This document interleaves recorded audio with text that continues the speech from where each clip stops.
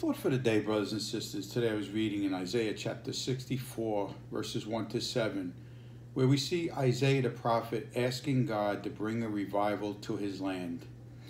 What is a revival? I believe a revival is God revealing himself and renewing his renewing people in a certain land. Do we need a revival in America today? I'm sure all born again believers who have their eyes opened by God's grace through Jesus Christ will say definitely yes, we need a revival in our country today. God has put it on my heart pretty much every day to pray for America that there be a revival. But there are hindrances to revival. Isaiah chapter 64, verse 4 speaks of that. The, the, the hindrance that God will not bring revival to a land is sin. When people are in sin and disregard God, God will not bring revival to a land. Now, God has been gracious in the Western culture to bring revival in times past.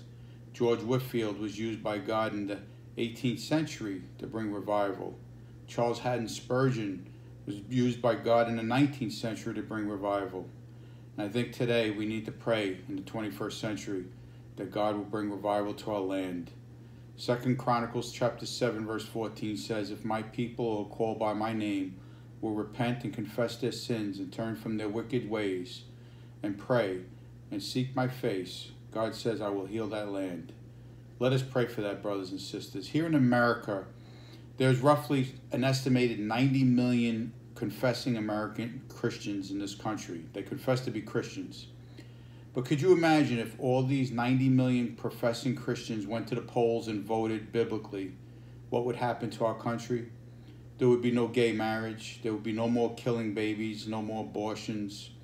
But the problem is, is that people today are religious. Religious people in this country think that they're Christians because they go to church once a week, um, drop a couple of coins in a bucket, say a couple of prayers once a week on Sunday, and then leave and go out and do what they want the rest of the week for themselves. That's not what it means to be a Christian.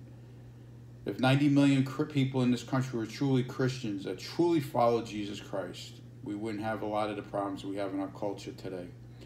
I hope and pray, brothers and sisters, that this devotional will help us all to really pray for revival in our country, that many will really come to God through surrender and submission to His will through Jesus Christ as Lord and Savior. True revival will reveal itself when people are changed. There's obedience, there's zeal, there's generosity, and there's a mission spiritually to enhance the kingdom of God, evangelism, the, the churches. You see, a lot in the news today is what's going on in the White House or the courthouse. But 1 Peter chapter 4 verse 17 says that judgment begins with God's house. It's the Christians, it's those who follow Christ. To him much is given, much is required, our Lord Jesus Christ told us. And it's for us as believers to truly take our walk with the Lord seriously. When it comes to leaders in a land, we're not to criticize them. The Bible only tells us to pray for them. We're not to idolize them either. But the problem is in our culture today, it's the church. Quite often, I believe that revival is, is not coming to our land, and God holds back revival because the people of God or asleep at the wheel spiritually.